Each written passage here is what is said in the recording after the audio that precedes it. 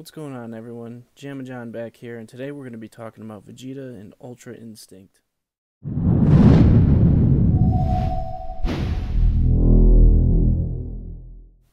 So, for those of you who are all caught up with Dragon Ball Super, you know that Goku has used Ultra Instinct twice now once against Jiren and once against Kefla.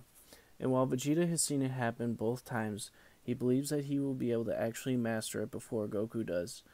While Goku has been the first to achieve these forms, Vegeta has always been right behind him, including learning to obtain Super Saiyan Blue without needing the ritual. Vegeta and Goku are very different fighters. As mentioned by Whis earlier in the series, as well as the Resurrection F movie, Vegeta is always focused and will never give his body a break, as well as trying to calculate which attack will do the most significant damage, whereas Goku will try to rest in any chance that he can get. I believe that Vegeta will be unlocking Ultra Instinct in this tournament.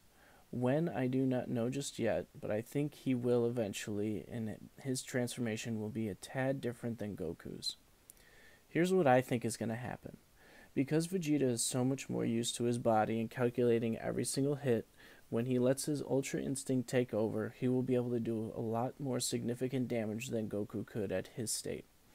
I do think Vegeta will also have a pretty easy time being able to dodge attacks as well, but I think his downside is that because he's going to be calling so much energy to his body in such a short spurt, he's going to be a lot more trouble for which enemy he faces at his power level, but he will not be able to keep his stamina going for too long.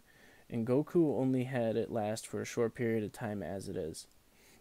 All in all, I believe Vegeta can obtain this state and achieve this form as well, but in a very short amount of time, even after seeing Goku's transformation.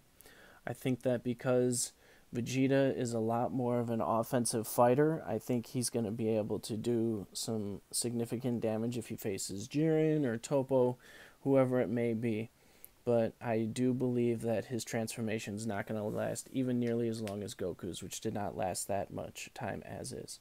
Uh, thank you for watching. Uh, if you have any uh, comments or questions about anything, uh, feel free to leave a comment in the section below. Uh, be sure to subscribe for more content, and uh, thank you for watching.